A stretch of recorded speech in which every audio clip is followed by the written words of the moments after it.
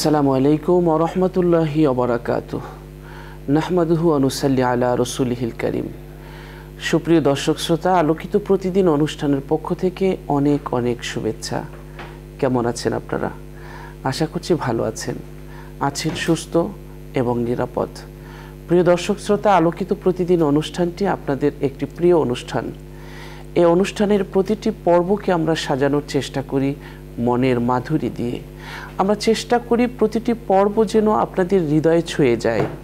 আপনাদের চিন্তার রাজ্যে আন্দোলন সৃষ্টি হয়। অন্তত কিছু হলেও সেখান থেকে যেন আমরা আমল করার কিছু পেয়ে থাকি। সে ভাবনা থেকেই আমরা অনুষ্ঠানটিকে সাজানোর চেষ্টা করি। আজও সেই ধারাবাহিকতায় আমরা একটি গুরুত্বপূর্ণ বিষয় নির্ধারণ করেছি এবং একজন প্রিয় অতিথিকে আমরা আমন্ত্রণ জানিয়েছি। চলুন, প্রথমেই ইসলামী ব্যক্তিত্ব জগতের উজ্জ্বলতম নক্ষত্র আমাদের প্রিয় অতিথির সাথে আপনাদের পরিচয় করিয়ে দিচ্ছি। আমাদের সাথে আছেন ঢাকা নেসারিয়া কামিল মাদ্রাসার সম্মানিত শাইখুল হাদিস, বিশিষ্ট ইসলামী চিন্তাবিদ মাওলানা A K M Abdul Wadud. আসসালামু আলাইকুম রহমতুল্লাহি ওয়ালাইকুম আসসালাম রহমতুল্লাহ বারাকাত মোতারাম কেমন আছেন আপনি? আলহামদুলিল্লাহ আপনি ভালো আছেন? আলহামদুলিল্লাহ ভালো আছি। প্রিয় দর্শক শ্রোতা আজ আমরা যে বিষয়টি নিয়ে আলোচনা করব সেটি হলো বিসমিল্লাহ এর ঐতিহাসিক প্রভাব। খুব গুরুত্বপূর্ণ এই বিষয়টি। কোরআনের একটি বরকতময় বাক্য বিসমিল্লাহির রহমানির রহিম। এটি এমনই একটি ফজিলতপূর্ণ আয়াত যা পাঠ করার মাধ্যমে ওই কাজে বরকত এবং পূর্ণতা পাওয়া যায়। আসি। রাসুল সাল্লাহ সাল্লাম ইরশাদ করেন, প্রত্যেক এমন গুরুত্বপূর্ণ কাজ যার শুরুতে বিসমিল্লা পড়া হয়নি, তার সম্পূর্ণ হয় না, অসম্পূর্ণ থেকে যায়। মোসনাদে আহমদ। অর্থাৎ প্রত্যেকটি কাজের শুরুতে বিসমিল্লা না বললে ভালো কাজের শুরুতে বিসমিল্লা না বললে অসম্পূর্ণ থেকে যায় ওই কাজটি। আমরা বিসমিল্লা সবসময় পড়ব কারণ বিসমিল্লা একটি শক্তিশালী আমল। এর মাধ্যমে শয়তানের কার্যক্ষমতা দুর্বল হয়ে যায়। অকল্যাণ এবং অনিষ্টতা থেকে অনিষ্টতা থেকে আল্লাহ তালা আমাদেরকে রক্ষা করেন। খাওয়া সহ যে কোনো কাজের শুরুতে বিসমিল্লা পড়া হলে সেই কাজে শয়তানের অংশীদারি থাকে না। রাসুল সাল্লাহ সাল্লাম ইরশাদ করেছেন যে খাবারে বিসমিল্লা পড়া হয় না, সে খাবারে শয়তানের অংশ থাকে। সেই খাবার মানুষের সঙ্গে শয়তানও ভক্ষণ করে। মুসলিম শরীফ পাঁচ হাজার তিনশো ছিয়াত্তর নং হাদিস। তো আমরা আজকের পুরো অনুষ্ঠান জুড়েই আমরা বিসমিল্লাহ এর প্রভাব, বিসমিল্লাহ কখন শুরু হয়েছে, নবী সাল্লাহ সাল্লামের সময় বিসমিল্লা কীভাবে এটি চলতো নানান বিষয় নিয়ে আজ আমরা এই অনুষ্ঠানে আলোচনা করব চলুন আমরা প্রিয় মোহতারামের কাছ থেকে বিসমিল্লাহ এর ঐতিহাসিক প্রভাব নিয়ে শুনছি একটি গুরুত্বপূর্ণ আলোচনা মোহতারাম আলহামদুলিল্লাহ কাফা আসসালামু আলা ইবাদিহিল্লাযীন ইসতাফা আম্মা বাদ فأعوذ بالله من الشيطان الرجيم بسم الله الرحمن الرحيم اقرأ باسم ربك الذي خلق আল্লাহ। সম্মানিত দর্শক ও শ্রোতা মন্ডলী যে বিষয়টি আজকে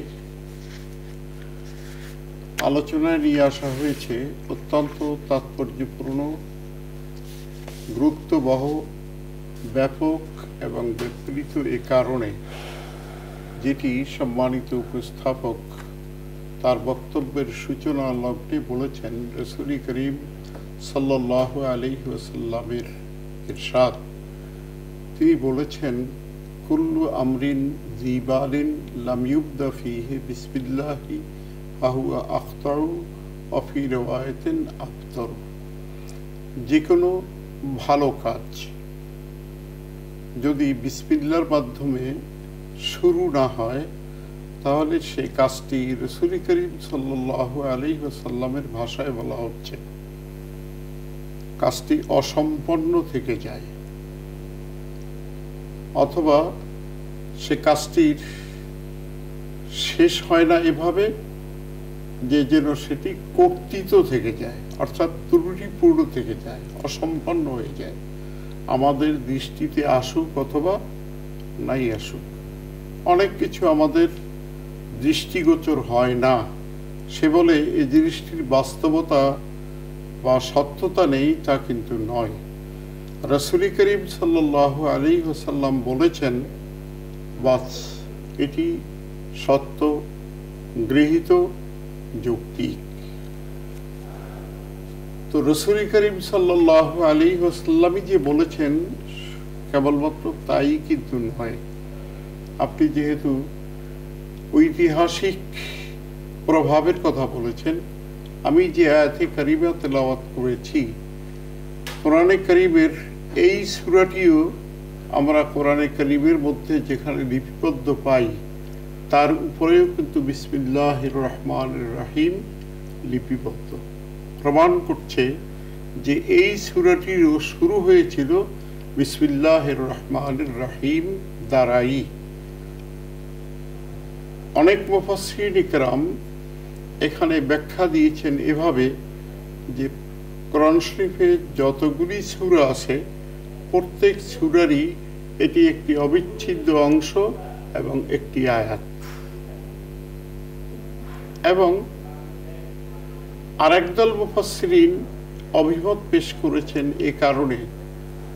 যেহেতু প্রত্যেকটি সূরা আমরা যখন নামাজের মধ্যে তেলাওয়াত করি তখন বিসমিল্লা আমরা সুরার সাথে উচ্চারণ করে প্রকাশ্যে তেলাওয়াত করি না।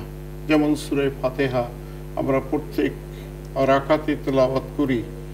এর আগে আমরা বিসমিল্লা উচ্চ স্বরে পড়ি না। নিম্ন স্বরে নিম্ন স্বরে পড়ি। এ কারণে ওই মুফাসসিরিন কেরামের ব্যাখ্যাকে যদি গ্রহণ করি তাহলে আয়াতের অংশ না হলেও সুরার প্রথম শব্দটি আল্লাহ যা বলেছেন, ইকরা বিস্মি রব্বিকাল্লাযী খালাক। আপনি পড়ুন আপনার প্রভুর নামে। সেই নামটিই কিন্তু লিখিত আছে বিসমিল্লাহির রহমানির রাহিমের মধ্যে। আর আমরা যদি সুরায় নামাল পড়তে যাই, তাহলে দেখি সেখানে সুরার মধ্যেই আল্লাহ পাক রব্বুল আলামিন এই বাক্যটিকে এভাবে উল্লেখ করেছেন যে আপনি অবশ্যই জানেন এটি এটি ইতিহাসের সাথে অত্যন্ত ওতপ্রোতভাবে জড়িত যে হজরত সোলাইমান আলাইহিস সালাম তার যে তখ্ত পরিচালনা করতেন ইঞ্জিন ছাড়া, মোবিল ছাড়া, তেল ছাড়া, পাইলট ছাড়া, আল্লাহর হুকুমে এটি চলতো। শত সহস্র মাইল উড়ে যেত এবং এটির উপরে ছায়া দেওয়ার জন্য পাখিরা ছায়া দিয়ে থাকত, ডানা মেলে।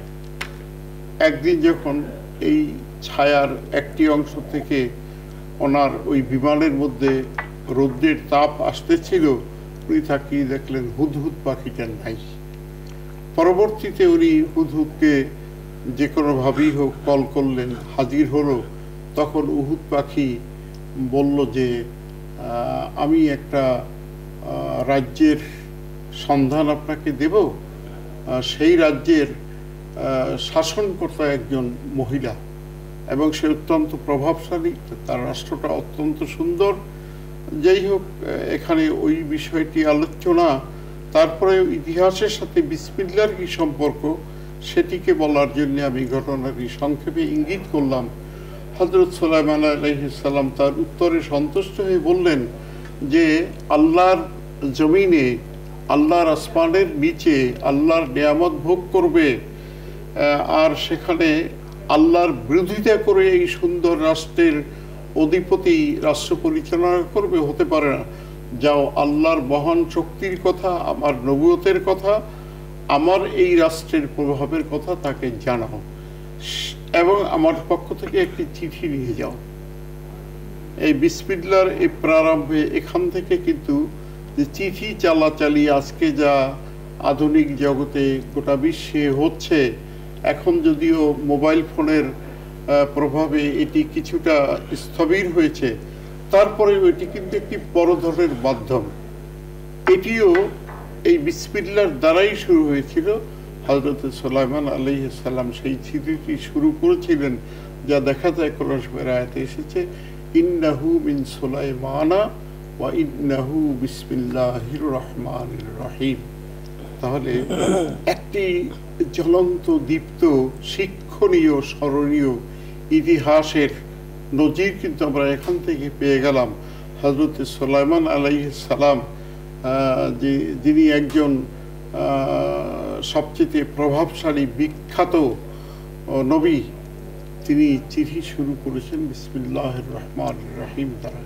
এবং ইতিহাস বলে যে এই থেকেই এই বিসমিল্লাহ লেখার প্রচলনটা এই ঈসা মানে এই নবী থেকেই শুরু হয়েছে যে বিসমিল্লাহর প্রচলনটা সুলাইমান আল্লাহ সাল্লাম থেকেই শুরু হয়েছে। হ্যাঁ এইরকম লেখার মাধ্যমে। এর পরবর্তীতে দেখা যায় যে মুসলিম সম্রাট মুসলিম সাম্রাজ্যের পক্ষ থেকে হাজারাত সাহাবাইকরামের পক্ষ থেকে যে সকল চিঠি মুসলিমদের কাছে আদান প্রদান করা হয়েছে, সেখানে বিসমিল্লাহ রহমান রহিম উচ্চারিত হয়েছে। এবং এটি যে বরাকাতপূর্ণ, যেমন আপনি বললেন যে খাওয়ার শুরুতে আমরা বিসমিল্লা পড়ে থাকি। রসুল করিম সাল্লাহ সাল্লাম বলেছেন যে খাওয়ার শুরুতে বিসমিল্লা যদি উচ্চারিত না হয় তাহলে সেই খাদ্যে শয়তান অংশগ্রহণ করে।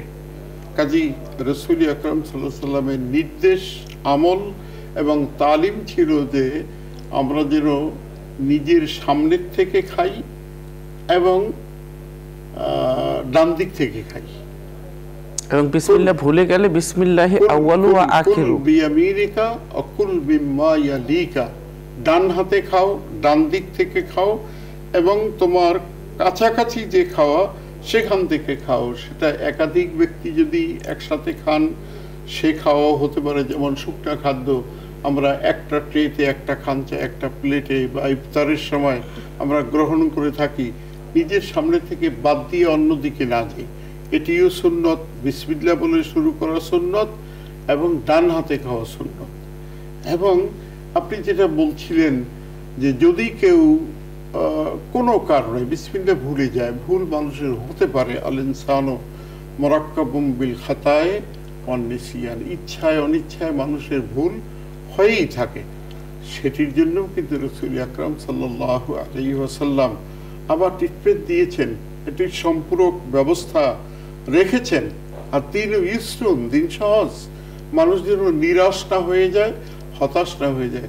রসুল করিম সাল্লাম বলেছেন যে এক কণা খাদ্য যদি বাকি থাকে, শেষ পর্যন্ত যদি কেউ বলে, বিসমিল্লাহি আউ্বালাহু ওয়া আখিরাহু আমার এই খাদ্যের শুরুতেও আল্লাহর নাম এবং শেষেও আমি আল্লাহর নাম স্মরণ করছি। যে বরকতটা শয়তান ওখান থেকে নিয়ে নিয়েছিল, সেটি সে ফেরত দিতে বাধ্য হয়।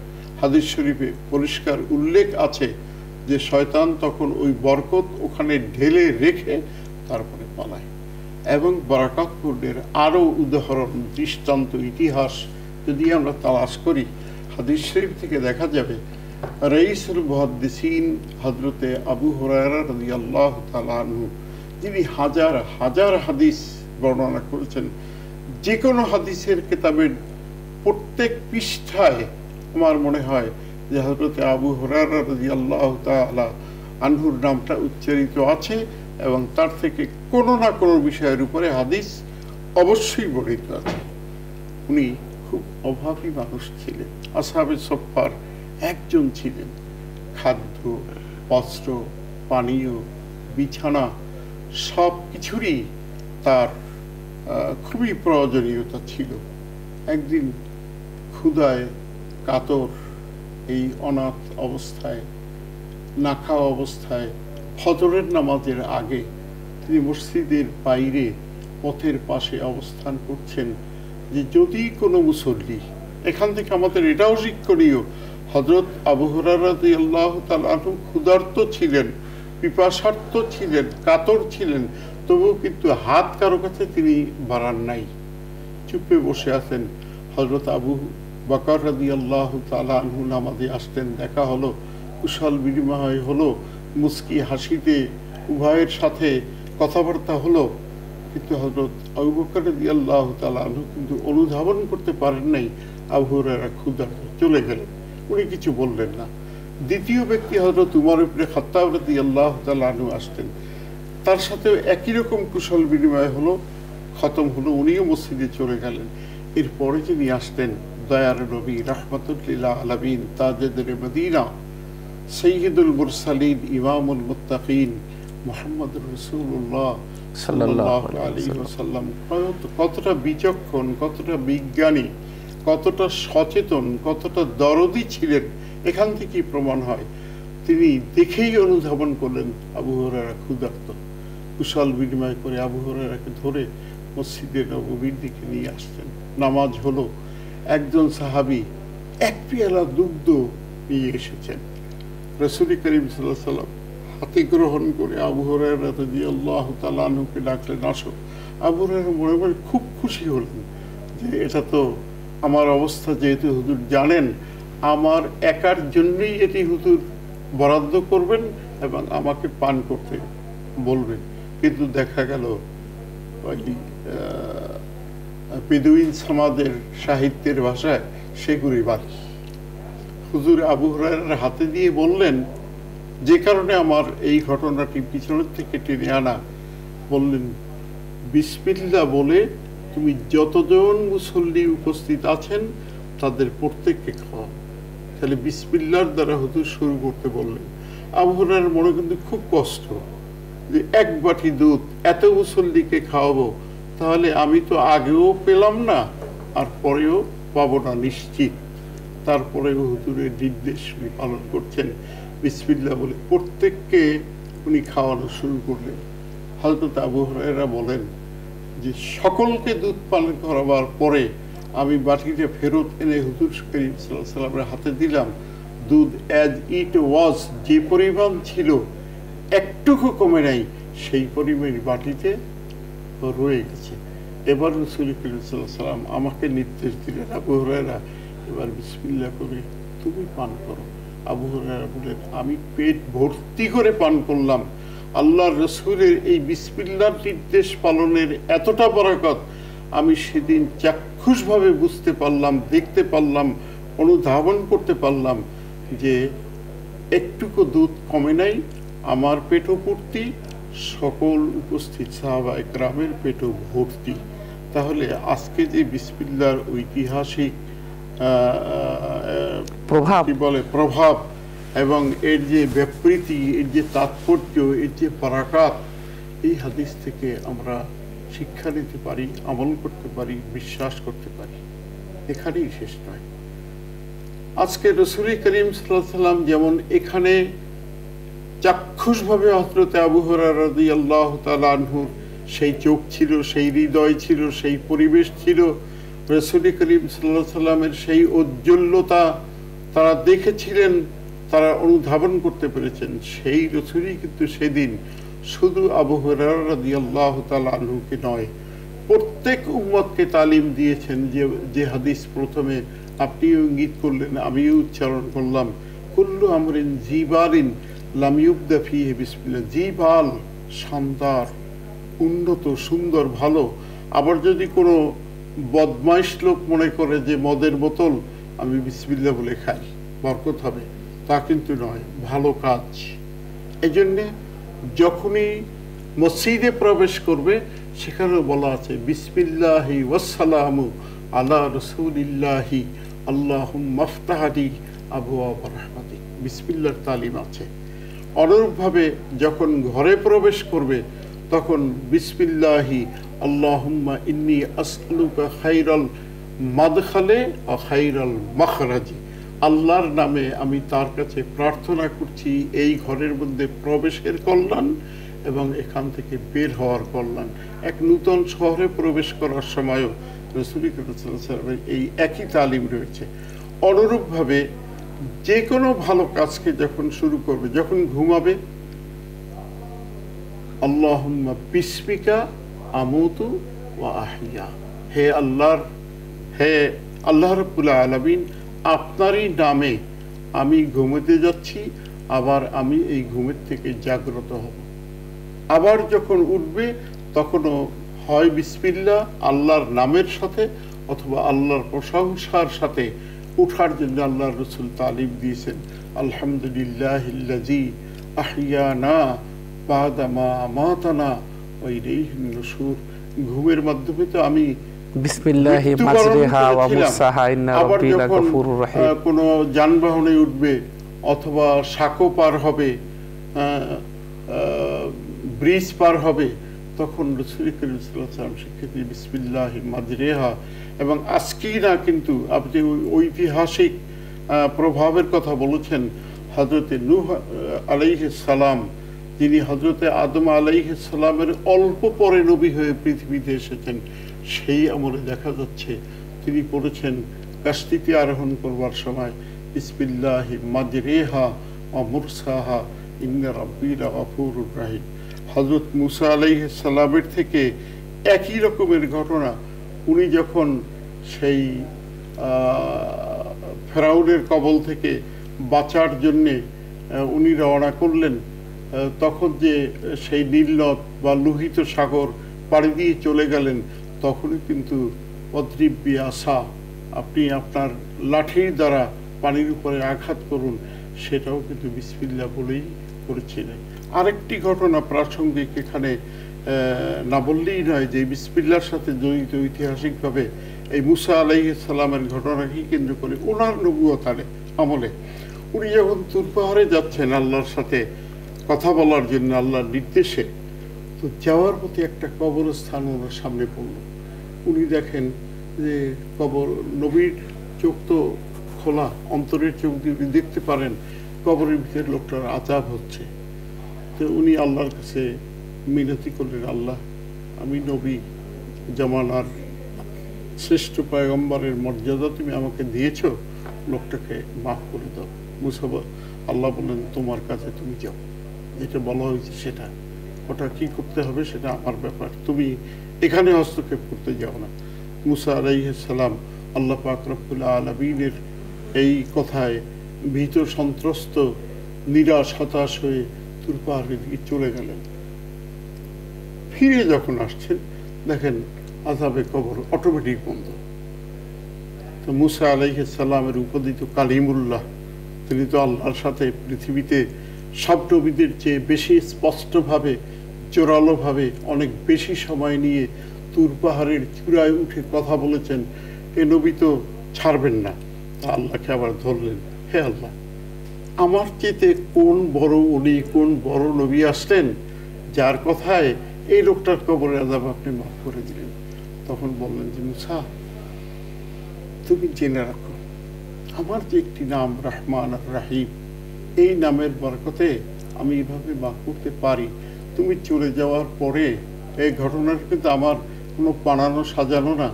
এই কোরআনে করিমের সবচেয়ে বড় তফসির বিশ্বের মধ্যে তফসিরে রাজি বা তফসিরে কবির যেটাকে বলা হয়, আল্লামা ফখরুদ্দিন রাজি রহমতুল্লাহ আল্লাহের লিখিত তফসিরের তৃতীয় খণ্ডের মধ্যে ঘটনাটা এই বিসমিল্লার ফজিলতের ক্ষেত্রে উনি আহ্বান করছেন। এই জন্যই আমার ঘটনাটা বলা। উনি বললেন যে, দেখো, তুমি যাওয়ার পরে এই যে আসমানি কিতাব, এটা পড়ার জন্যে এই কবরে দাফনকৃত লোকটির, মৃত লোকটির একটি নাবালেক শিশু, নিষ্পাপ নাতিন, ও পড়ছে আমার নামে। শাইতানির রাজিম। বিসমিল্লাহির রহমানির রহিম। তো যখন ও বিচারিত শয়তান থেকে আশ্রয় প্রার্থনা করেছে এবং আমার রহমানুর রহিম দয়াবান দয়াময় শব্দটি উচ্চারণ করে ও আমার কিতাবের তেলাওয়াত শুরু করতে যাচ্ছে, তখন আমি আল্লাহর রহমতের ভিতরে এরকম ঢেউ, এরকম জোশ চলে এসেছে যে আমাকে এই নিষ্পাপ কচি মুখে উচ্চারণ করে রহমানুর রাহিম বলবে, আর ওর দাদাকে আমি কবরের প্রতি আজাব দেব, এটি হতে পারে না। আমি সেই বিসমিল্লার বরকতে তাকে মাফ করে দিয়েছি। এখান থেকে ইতিহাসের প্রভাব যদি আমরা গ্রহণ করি, আজকে আমাদের ঘরের শিশুদেরকে অনেক কিছু আমরা শিখাই, অনেক কিছু বলি। যদি সাথে সাথে অন্তত পক্ষে আউজুবিল্লাহ শৈতর রাজিম বিসমিল্লাহ রহমান রাহিমের শুদ্ধ উচ্চারণ শিখাই, আল্লাহর কোরআনের তেলাওয়াত শিখাই, তালিমটা দেই, তাহলে আমাদের আত্মীয় স্বজন যারা কবরবাসী হয়ে এতিম এই বিজ্ঞানের যুগে, প্রগতির যুগে, অগ্রগতির যুগে, মোবাইলের যুগে, কম্পিউটারের যুগে কম্পিউটারের যুগে, রকেটের যুগে, চাঁদের দেশে যাওয়ার যুগে, মঙ্গল গ্রহে অভিযানের যুগে, যেখানের খবর সম্পর্কে আমরা জানি না।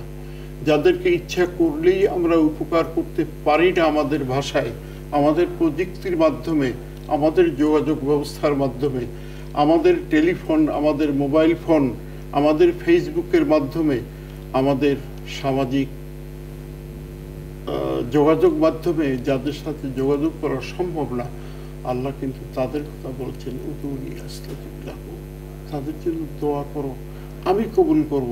এবং সেই দোয়া যদি আর কোনো কিছু আমি নাও পারি, সকলে আমরা বড় হুজুরের কাছে যেতে পারব না, বাইতুল মোকাররমের খতিব ইমামের কাছে যেতে পারব না ঢাকা শহরের বড় মসজিদের ইমাম সাহেবকে আমি নিয়ে আসতে পারব না, বাংলাদেশের খ্যাতনামা পীর সাহেব হুজুরকে হাজির করতে পারব না, তৌফিক নাই, কিন্তু আমি বসে বসে বিসমিল্লা পড়তে পারব। আমার কচি বাচ্চাটাকে, নিষ্পাপ নাতিটাকে, শিশুটাকে, এটুকু কিন্তু আমি শিক্ষা দিতে পারব। এমনকি ওলামাই কারাম এটাও বলেছেন যে কোরআন তেলাবাত করে, সুরা ইয়াসিন পড়ে তাদের জন্য যদি দোয়া করতে নাও পারি অন্তত বিসমিল্লাহের রহমানের রাহিম পড়েও যদি দোয়া করি আল্লাহ তাদেরকে মাফ করে দিবেন। বিসমিল্লাহের রহমান রাহিম পুরাটুক যদি নাও পড়তে পারি তাহলে বিসমিল্লাহ শব্দটুক যদি উচ্চারণ করি তারও তো হবে হাদিস শরীফের রসুল করিম সাল্লাম আরও বলেছেন এখানেই শেষ নয় যে আমরা জানি যে আলাইহা তিসাতা আশার জাহান্নামে নিক্ষেপ করবার জন্য আল্লাহ পাক আলমিন যে ফেরেশতাদেরকে নিয়োজিত রেখেছেন তাদের সংখ্যা হচ্ছে উনিশ। আর বিসমিল্লাহির রহমানির রহিমের মধ্যে পুরো সংখ্যাটাও হচ্ছে উনিশ। উনিশটি অক্ষর। বহু ব্যাখ্যা এর আছে। এই বিজ্ঞানের যুগে আরও আছে সময় থাকলে আমি ইঙ্গিত দেব আপনার অবশ্যই জানা আছে।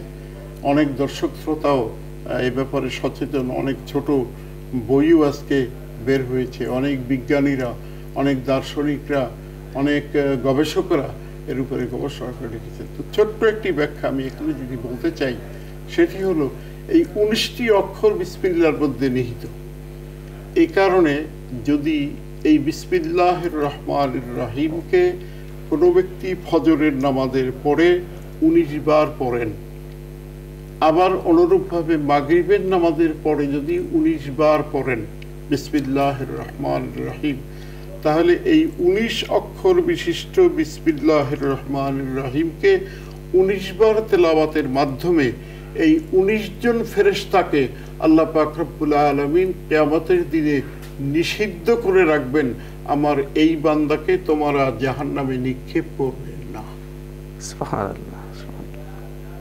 তারা এই বিসমিল্লাহির রহমান রাহিম পাটকারী ব্যক্তিকে আবার কেউ বলবে যে আজকে এই আলোচক একটা ভালো আলোচনা করেছে, আর কোনো কাজ টাজ করা লাগবে না।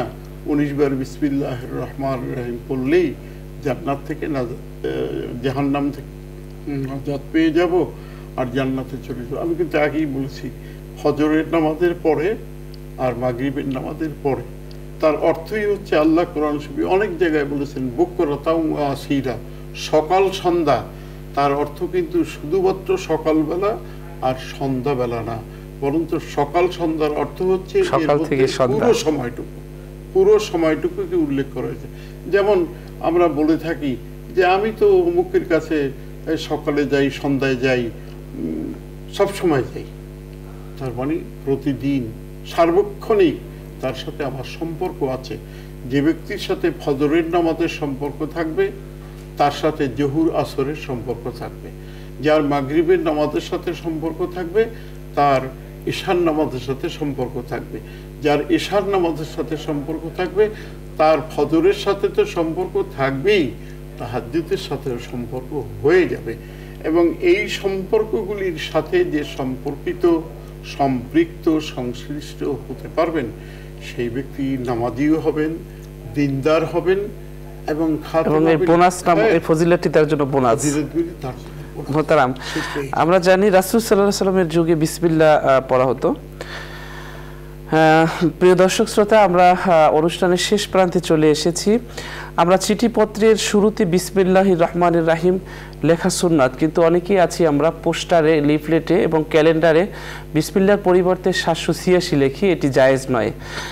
এবং অনেকে আছি আমরা মনে বিসমিল্লাহ রহমানের রাহিম, এটি কোরআনের একটি মর্যাদাপূর্ণ আয়াত, কিন্তু এটাকে আমরা পোস্টার, লিফলেট বিভিন্ন জায়গায় যেটা সংরক্ষণ করে যেগুলো রাখা হয় না, সেখানে আমরা এগুলো লিখে থাকি। তো এতে করে আমাদের আসলে গুণা হওয়ার সম্ভাবনা আছে। আমরা যখন এই কাজটা শুরু হওয়ার সময় ওখানে কাগজে না লিখে আমরা ওখানে মুখে উচ্চারণ করলেই আমরা ওই সবটা পাবো। এবং ওই কাজের ভিতরে কল্যাণ আসবে। এই জিনিসগুলো আমরা খেয়াল রাখব। প্রিয় দর্শক শ্রোতা আমরা অনুষ্ঠানের শেষ প্রান্তে চলে এসেছি। আসলে হুজুরকে থামাতেই পারছিলাম না। আরও অনেক গভীরে আমরা যেতে পারতাম সময় থাকলে। আমরা অনুষ্ঠানের এই পর্যায়ে একটি মোনাজাত করব। আর আজকের মোনাজাত করবেন আমাদের প্রিয় অতিথি।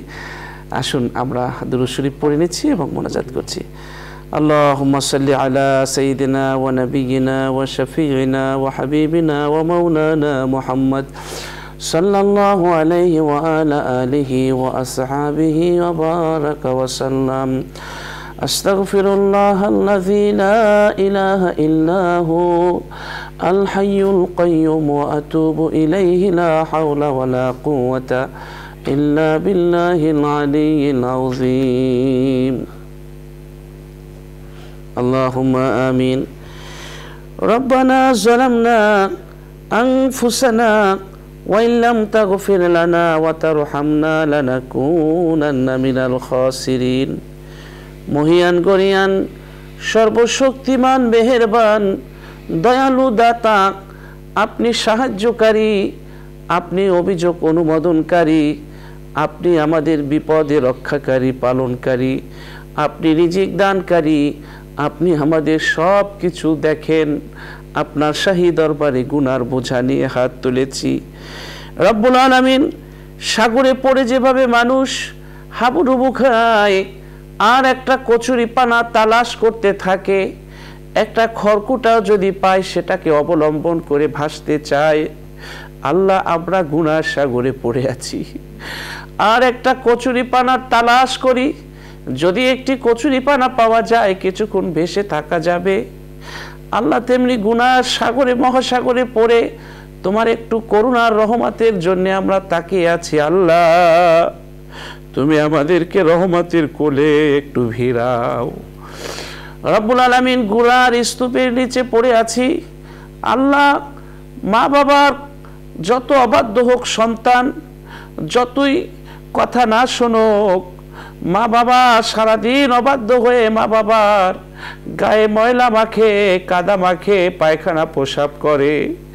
আল্লাহ মা সন্ধ্যাবেলা যখন সন্তানকে দেখে ময়লা আবর্জনা গায়ে মেখেছে, মা যত পাশানি হোক না কেন পানি দিয়ে ধুয়ে মুছে আবার সন্তান বুকের মধ্যে টেনে নেয়। রাবুল আলামিন মা সন্তান যদি মাকে ভুলে যায়, মা কোনোদিন সন্তানকে ভুলতে পারে না।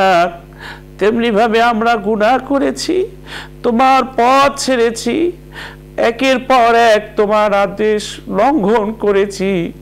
মালিক, তুমি যদি আমাদেরকে আটকে দাও, আমরা কেমনে পার পাবো? তোমার কাছে ফরিয়াদ তুমি একটু করুণার শিশির দিয়ে আমাদের জীবনের গুণাগুলো একটু মুছে দাও গো আল্লাহ। রব্বুল আলামিন, তুমি যেটা করো কেউ ফেরাতে পারে না, তুমি যেটা আটকাও কেউ করতে পারে না। তাই তোমার কাছে ফরিয়াদ, তুমি আমাদের জীবনে যা কিছু ক্ষতি আছে তুমি আটকে দাও। তোমার কাছে ফরিয়াদ, আমাদের জীবনে যা কিছু কল্যাণ তুমি করে দাও। আল্লাহ, তুমি আমাদের ভরসার স্থল আল্লাহ একমাত্র আমাদের মনের বাসনা পূরণের স্থল। আল্লাহ তোমার কাছে শূন্য হাত নিয়ে এসেছি। কাছে দূরে দেশে বিদেশে বহু মানুষ আমাদের সাথে হাত তুলেছে। আল্লাহ, কোন হাত দুখান পছন্দ হয় জানি না। তুমি আল্লাহ, অনেক ন্যাক্কার আছে তাদের সাথে আমাদের কেউ চালিয়ে নাও। রব্বুল আলমী তোমার কাছে ফরিয়াদ। এই অনুষ্ঠানের নেপথ্যে থেকে কলা কৌশলী যারা এই অনুষ্ঠান নির্মাণের জন্য কাজ করছে। তাদের সকলের উপর তোমার রহমত, বরকত নাজিল করো। আল্লাহ আমাদের এই অনুষ্ঠানের পৃষ্ঠপোষক বসুন্ধরার চেয়ারম্যান। আল্লাহ এই গ্রুপকে তুমি কল্যাণমুখী কাজ করার জন্য বেশি বেশি তৌফিক দান করো। ব্যবসা বাণিজ্যে বরকত দাও। যতগুলো প্রতিষ্ঠানের মাধ্যমে দিনের কাজ হচ্ছে, আল্লাহ সেই প্রতিষ্ঠানগুলোর উপরে তোমার কল্যাণ ঢেলে দাও। সকল বালা মুসিবাত দূর করে দাও। আসমানি জমিনি বালা মুসিবাত দূর করে দাও। রহমানুর রহিম, তোমার কাছে ফরিয়াদ জানাই। আমরা এই পৃথিবীতে ক্ষণিক সময়ের জন্য এসেছি। পরকালমুখী বানাইয়া দাও। আল্লাহ আমাদের জীবনের সকল অসংলগ্নতা তুমি মুছে দাও। আমাদের জীবনের সব ত্রুটিগুলো তুমি মুছে দাও। আমাদেরকে ক্রন্দনরত দুটো চোখ দান করো। আমাদের অন্তরগুলো তুমি নরম করে দাও। আমাদের সকলকে কান্নাওয়ালা দুটো চোখ দান করো। রব্বুল আলমী তোমার কাছে ফরিয়াদ, তুমি আমাদের এই শূন্য হাত ফিরাই দিও না। তুমি আমাদের দিকে একটু রহমাতের দৃষ্টি ফেরাও গো আল্লাহ। রব্বুল আলমিন, কত মোনাজাত জীবনে করেছি, জানি না কোন দিনের কোন মোনাজাত তুমি শুনেছ গো আল্লাহ। কোন মোনাজাত যদি কবুল না হয় আজকের মোনাজাত জীবনের শেষ মোনাজাত মনে করে তুমি মাফ করে দাও গো আল্লাহ। রব্বুল আলমিন প্রতিদিন মসজিদের এলাকা থেকে মাইকে এলান হয়। আমার অমুকের ভাই নাই, অমুক মসজিদ থেকে এলান হয়, অমুকের বাবা নাই, অমুক মসজিদ থেকে এলান হয়, অমুকের মা নাই। কেউ মা হারিয়ে কান্দে, কেউ ভাই হারিয়ে কান্দে, কেউ বাবা হারিয়ে কান্দে। শুধু হারাচ্ছে হারাচ্ছে। আল্লাহ একদিন আমাদেরও এই তালিকায় নাম এসে যাবে। ছেড়ে যেতে হবে এই জায়গা। রাব্বুল আলামিন, যেদিন অন্ধকার কবরে পাড়ি জমাবো, যাবার সময় ইমানের সাথে রওনা দেওয়ার তৌফিক দিও। ইমানের সাথে মরণ দিও মরণ আসান দিও, মরণে শুক্রবারে মরণ দিও। শহীদি মৃত্যু দিও গো আল্লাহ যায় নামাজি মৃত্যু দিও। আল্লাহ গো, মমিনের মৃত্যু মোদেরকে দান করে দিও। রব্বুল আলামিন, জাহান্নাম, জাহান্নামে কেমনে জ্বলবো? রক্ত মাংসের শরীর নিয়ে জাহান্নামে মানুষ কেমনে চলবে গো আল্লাহ? আল্লাহ গো, তোমার কাছে ফরিয়াদ, মোদের জন্য জাহান্নামের আগুন চিরদিনের জন্য তুমি হারাম করে দাও। রব্বুল আলামিন তোমার কাছে ফরিয়াদ জানাই, আল্লাহ গো, নবী পাকের নাম শুনেছি। কখনো দেখিনি আল্লাহ স্বপ্ন চোখে নবীজির সাথে আমাদের সকলকে তুমি দিদার নসিব করে দিও। আল্লাহ গো, আমরা যারা তোমার দুয়ারে হাত তুলেছি, তোমার ঘরে, তোমার ঘরের দরজায় কাবা ঘরের দরজায় দাঁড়ানোর তৌফিক আমাদেরকে দান করে দিও। বাইতুল্লাহর মুসাফির হওয়ার তৌফিক আমাদেরকে তুমি নসিব করে দিও। আল্লাহ অনেক ব্যবসায়ী ভাইরা হাত তুলেছে, তাদের ব্যবসায় বরকত দাও। অনেক অসুস্থ মানুষ হাত তুলেছে, তাদের তুমি সুস্থ করে দাও। অনেকে পেরেশানির মধ্যে আছে, তুমি পেরেশানি দূর করে দাও। অনেকের রিজিকের অভাব আছে, তুমি রিজিক বাড়াইয়া দাও। রব্বুল আলামিন তুমি হায়াতের মধ্যে বরকত দাও, রিজিকের মধ্যে বরকত দাও, জীবনের মধ্যে বরকত দাও সব কিছুর মধ্যে তুমি বরকত দাও। আল্লাহ ছেলে সন্তান যা কিছু দিয়েছ, আল্লাহ গো, যার একটা সন্তান বকে যায় সে বোঝে কত কষ্ট। আমাদের যাদেরকে যা কিছু দিয়েছ ছেলে সন্তান, মানুষের মতো মানুষ করে গড়ে উঠতে পারে সেই ব্যবস্থা তুমি আল্লাহ করে দাও। রবুল আলমিন একদিন আমরা এই দুনিয়ার জীবন ছেড়ে ওপারের জীবনে যাব। আমরা কত মানুষের জন্য হাত তুলে দোয়া করলাম। জানি না অন্ধকার কবরে যাওয়ার পরে আমাদের জন্য কে দোয়া করবে। কে কবরের পাশে দাঁড়িয়ে চোখের পানি ছেড়ে একটু সুরা ফাতেহা পরে সাইকুল পরে হাত তুলে দোয়া করবে, জানি না। আল্লাহ, একদিন এই পৃথিবী ছেড়ে চলে যেতেই তো হবে। যাবার আগে কিছু মানুষ দোয়া করার তৈরি করে যাওয়ার তৌফিক তুমি দান করে দিও। আমাদের সন্তানাদিকে তুমি আলেম বানাই দিও। আল্লাহ আলেমের সংস্পর্শে থাকার তৌফিক দিও।